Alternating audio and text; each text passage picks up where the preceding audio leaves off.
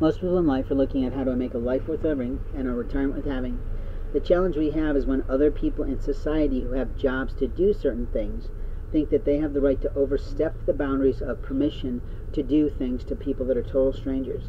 It's a lie that they tell themselves. An absolute blatant lie and a total violation of rights.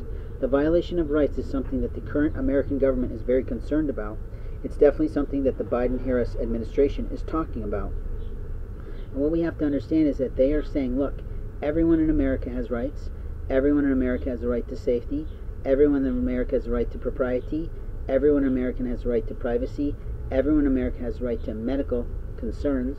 And openly, they haven't quite gotten there yet, but medical privacy is going to be coming back around very soon. In life, we have moments of time to speak the truth of our life, but it is our truth for our life that matters to us. It might be your truth about our life that matters to you, but you know what? If you're not technically allowed and enabled and, and welcomed into our life, then you're that's on you. You made a choice. You made a choice to abuse. You made a choice to harangue. You made a choice to insult. You made a choice to opinion. You made a choice to harm someone's life. That is, if you actually had a relationship in the first place. If you really had no relationship and you're trying to stuff yourself into someone's life, that's another thing entirely. It's more of a stalking. It's more of a mobbing. It's more of an unusual thing. But in life, we have to be honest about what we are doing.